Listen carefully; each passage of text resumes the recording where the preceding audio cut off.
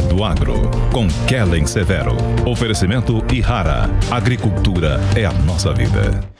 O risco de desabastecimento de trigo por causa da guerra entre Rússia e Ucrânia eleva o preço do cereal. A nossa comentarista de agro, Kellen Severo, comenta o tema. Os contratos futuros de trigo negociados na Bolsa de Chicago atingiram o limite diário de alta e renovaram as máximas de preços em 14 anos, superando os 11 dólares por bushel. A valorização é reflexo do risco de redução da oferta global do cereal em cerca de 30%, que é o percentual que Rússia e Ucrânia juntos representam no comércio internacional. A depender dos desdobramentos da guerra, poderá haver interrupção na oferta de trigo, que está plantado no país além de bloqueios de exportações russas.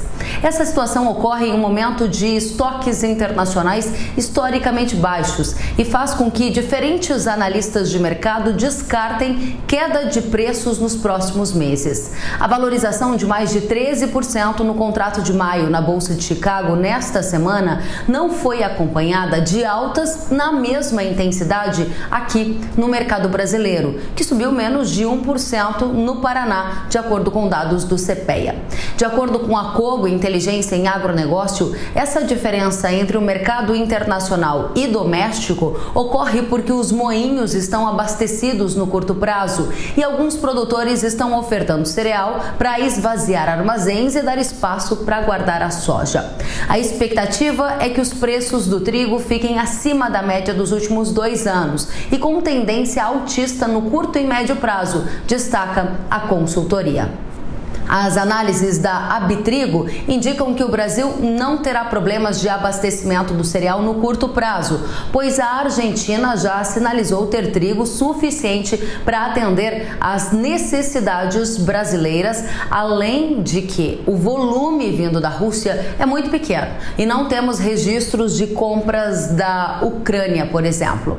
Atualmente, 60% da demanda interna de trigo é atendida por importação e desse total, 85% é originário de um único país, a Argentina.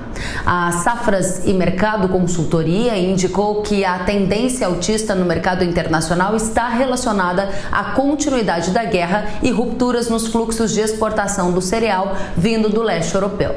No mercado brasileiro, há inclusive expectativas de que a alta de preço motive o aumento da área plantada.